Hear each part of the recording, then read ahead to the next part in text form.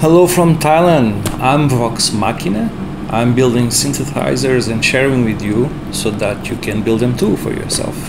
Um, I've decided to start making video recordings of my do-it-yourself journey, uh, even though it's still very weird to me talking alone in my office slash studio to my mobile phone.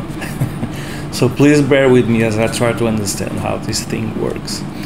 Uh, so I started recently to design and build my Eurorack modules and start to sh- start sharing more about the process because it's quite exciting. There's a lot of history, a lot of interesting stuff to share. And the models themselves, the one that I'm building, I'm making them available open source on my GitHub repo, which I will share the link uh, in the description below. Um, I built kind of myself a goal for this year, which is to go back in time to the 60s, to the 70s, to learn from Serge, Moog, Buchla, you know, what was what, what was happening behind their designs, their models, because personally it's it's the kind of um, soundscape and sound sound design that I like. I don't know how to explain it. You know, I, I love the sound created by by these old analog synthesizers and there's a lot of complexity in some of them, which is quite interesting. Um, so I'm trying to learn from them, and you know, uh, and going throughout the years through modifications that people have been working on some of these modules, uh, building my own extensions to them, and you know, basically, I want to build, even if it's a do-it-yourself kind of hobby. I really am trying to target to build a high quality, full analog modular system this year uh, built on top of this nostalgia of modular scenes from the 60s, the 70s. And then, you know, next I think I want to start making my own instruments uh, a little bit more outside of the box. But for now, I'm focusing on understanding how they were created, which is quite interesting. The one we're gonna talk today, especially, uh, which is about the Serge programmer and um, I've been learning quite a lot actually. You know, um, so you know, I'm adding my own additions, which I'll try to show a little bit today on what I'm trying to do for this specific one. So yeah, uh, today we're gonna look at this big fella, which will take me a lot of hours and a couple of white hairs to solder upon, but it's gonna be totally worth it. It's not yet complete. I'm building up to test my one of my modifications together on the breadboard. So let's look into it. So behold Leo Leo Matrix programmer for Eurorack. This is an incredible stage sequencer programmer coming all the way back from 1973.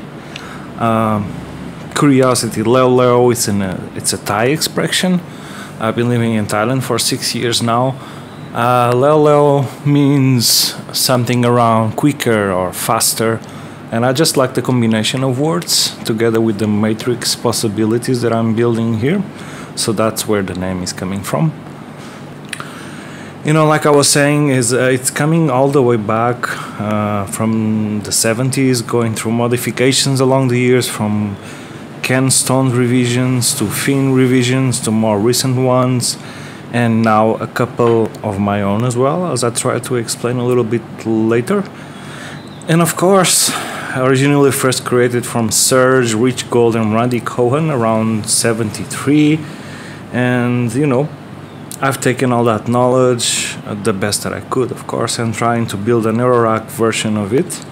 Uh, I'm loving it so far, very interactive. Uh, you can see here a lot of switches. Hopefully, you can see there's eight switches on this side for each stage, plus four, one for each stage again. I'll explain what that means in a moment. You know, this just makes me feel like I'm in a, some kind of flight control simulation, which is very fun. Uh, I'll leave related links below in the description in case you want to know more about this beautiful piece of music tech history and evolution. You know, unlike most sequencers, this makes no use of any binary counters or decade counters, rather, it's using a set of individual stages. Uh, each one directly accessible, you know. Uh, even though it's, I have a clock from outside clocking it. I'll explain a little bit later, but uh, you can have a clock from left to right and another clock from right to left simultaneously uh, if, if you want to. Uh, you can access individually, you know, I have four buttons here. Each button will trigger, give me access to a certain stage, you know. Even though the sequence is running, I can just trigger it back to second stage here and play a little bit with it uh, to any stage really. Uh, you know, currently I have finally decoded the core circuit, which took me quite a while. You know, I'm not an electronics engineer, I'm a software engineer, which helps me understand a little bit better the, um, the development process, let's say. Um, I even included, you know, I will include in the description a link to a simulation that I did just to understand the circuit um, and all the different flows and how a stage works exactly and how it connects to the other stages as well. I'll leave in the link below. It's very useful for learning, I think so.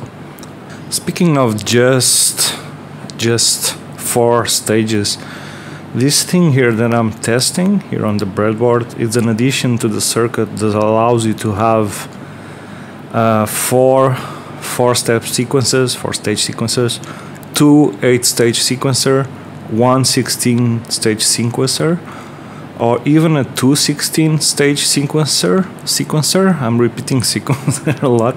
I'm sorry for my Portuguese English accent. Uh, anyway, you can have uh, many variations of this uh, flow. You can even control it and make it work in a very random way. I'll explain a little bit my ideas, my additions. So, the original one has four stages, as you see here, four by four. Uh, currently in Eurorack, there's not like a four by four, as far as I know. Maybe there is. Uh, if there is, please let me know.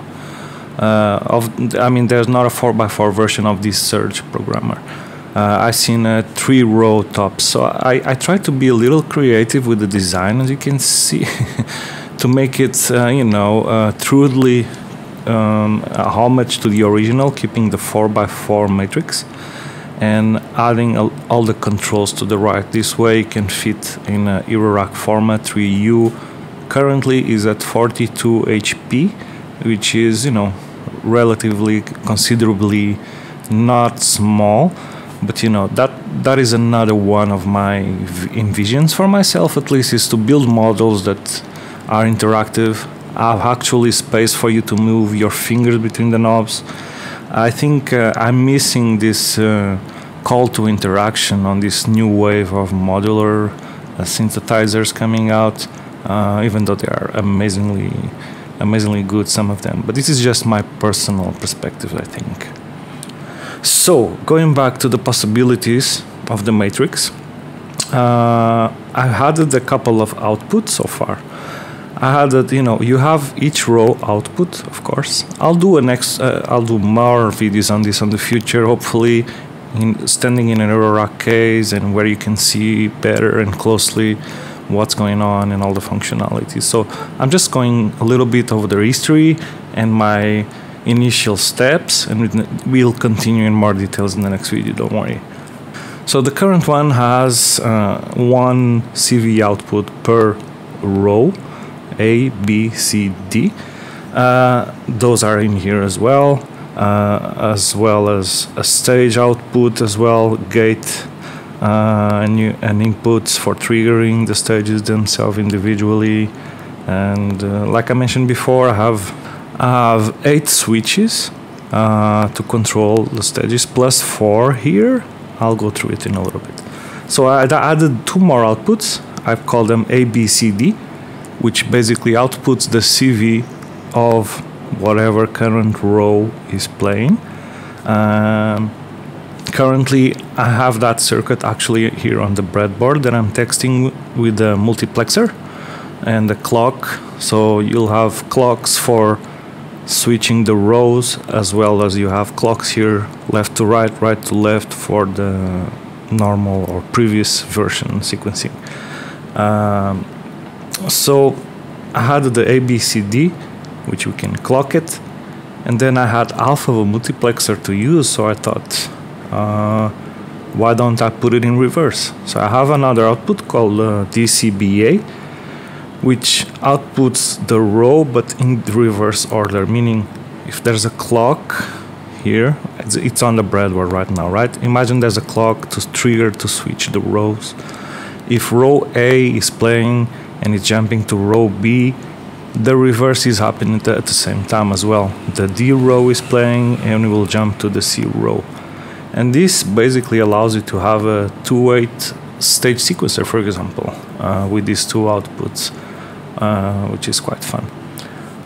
And next I'll be working on cascading implementation through a cable in the back, uh, but I want to make it available somewhere around here in the front, a switch to which you can choose solo or cascading, cascade. I need to find the right term for that to put it on the front panel. So you can extend this uh, sequencer infinitely if you want to, in theory. Uh, but I want to give the opportunity for you to choose when you're playing live if you wanted to use them solo or if you want to use them together. Uh, you know, I'm trying to reach for maximum interactivity, interactivity and playability. So now I'm going to go back to my to my vertical clocking, multiplexing. Uh, I want to make sure that everything is working properly and uh, I'll just go quickly overview you know we'll go in more details on the next videos you know there are a lot of switches here this you know like a flight control panel these switches here will mute a step meaning the clock will still go through it, of course, but it doesn't trigger an output on all gates output. There's an all gates output and there's a common pulses output, which will trigger once you trigger the individual stages. Uh, so mute does that, and then these guys here define the rules of the sequencer going from left to right, or if it's going from right to left. And you can have two different sets of rules basically at the moment is going from left to right. I can define for step two, for example, if I want to stop there, it will stop on the previous one, you know. I'm just gonna trigger the third step so you can see. So step two can be stopped, or I can be playing normally, or can be skipped completely. This is quite an amazing feature. You know, if you use um, uh, like a two-weight stage sequencer, for example, you can have polyrhythms going on, which is quite fun. So you know, just this was just a little bit introduction of what's going on here, what I'm testing around here. I'm just sharing my updates so far, uh, and you know, I think it's my first proper video that I'm doing, so bear with me as I try to understand how the things works. Uh, let me know in the comments and yeah. Thanks for watching. Let me know what you think if i'm missing some reference or if you have any suggestions. You know as i mentioned uh, i want this to be collaborative. Uh, here in thailand i'm reaching out to the community you know to the builders uh, to you know to collect knowledge to share knowledge to to build to play these are all available on my github which i will leave the links below I've been building other models as well. Uh, I have a resonant low pass gate and a VCO, which actually, are already done, but I didn't make videos about it yet because of reasons. and, but I will be making some videos about them. Uh, but uh, yeah, that's my goal: creating a community, sharing the knowledge and the beauty uh, of these uh, modular analog synthesizers. See you soon.